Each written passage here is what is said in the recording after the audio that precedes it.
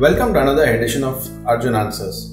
The primary factors that you need to consider while investing in fixed income mutual fund schemes is your time horizon of investments and timing of investments.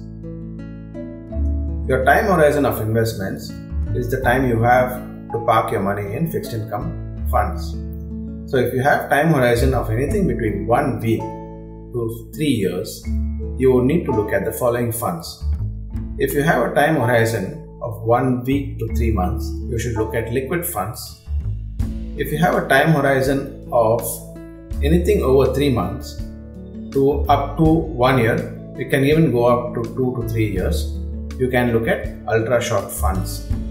You can look at FMPs if you have a time horizon of 3 years as it gives you tax efficiency.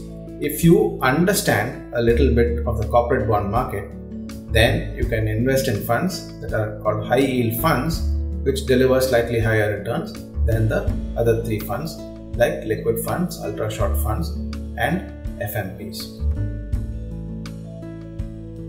And now coming to timing of investments, if you have a belief that interest rates are going to fall in the economy, or if your advisor tells you that interest rates are going to fall in the economy, then you should look at investing in these categories of funds, which are short term income funds, long term income funds, and gilt funds.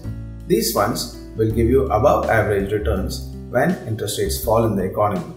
Now, again, if coming back to corporate bonds, if you do have a little bit of understanding of corporate bonds and credit spreads, then if you have a belief that both in interest rates and credit spreads are going to fall in the economy, then you can look at investing in short term income funds and long term income funds. Yeah, as you can see, it's not very difficult for you to consider investments in fixed income mutual fund schemes. All you require to know is your time horizon of investments and your timing of investments.